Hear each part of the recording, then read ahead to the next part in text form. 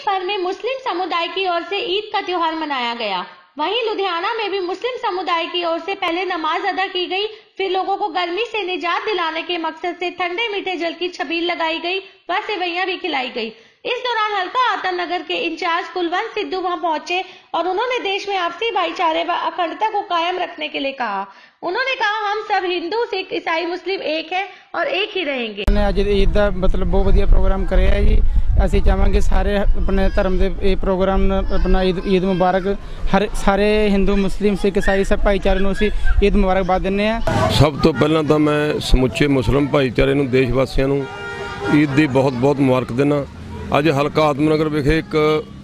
ਲੰਗਰ ਦਾ ਪ੍ਰਬੰਧ ਕੀਤਾ ਗਿਆ ਹੈ ਮੁਸਲਮ ਭਾਈਚਾਰੇ ਵੱਲੋਂ। ਅੱਜ ਸਾਰੇ ਧਰਮਾਂ ਦੇ ਲੋਕਾਂ ਨੇ ਹਿੰਦੂ, ਸਿੱਖ, ਈਸਾਈ, ਮੁਸਲਮ ਸਭ ਨੇ ਇਕੱਤਰ ਹੋ ਗਿਆ ਜਿੱਥੇ ਈਦ ਦਾ ਜਿਹੜਾ ਤਿਉਹਾਰ ਬੜੀ ਖੁਸ਼ੀ ਦੇ ਚਾਅ ਨਾਲ ਮਨਾਇਆ। ਮੈਂ ਪ੍ਰਮਾਤਮਾ ਦੇ ਚਰਨਾਂ 'ਚ ਅਰਦਾਸ ਕਰਦਾ ਕਿ ਸਾਰਿਆਂ ਦੇ ਘਰਾਂ ਦੇ ਵਿੱਚ ਖੁਸ਼ੀਆਂ ਦੇ ਖੇੜ ਦੇਣ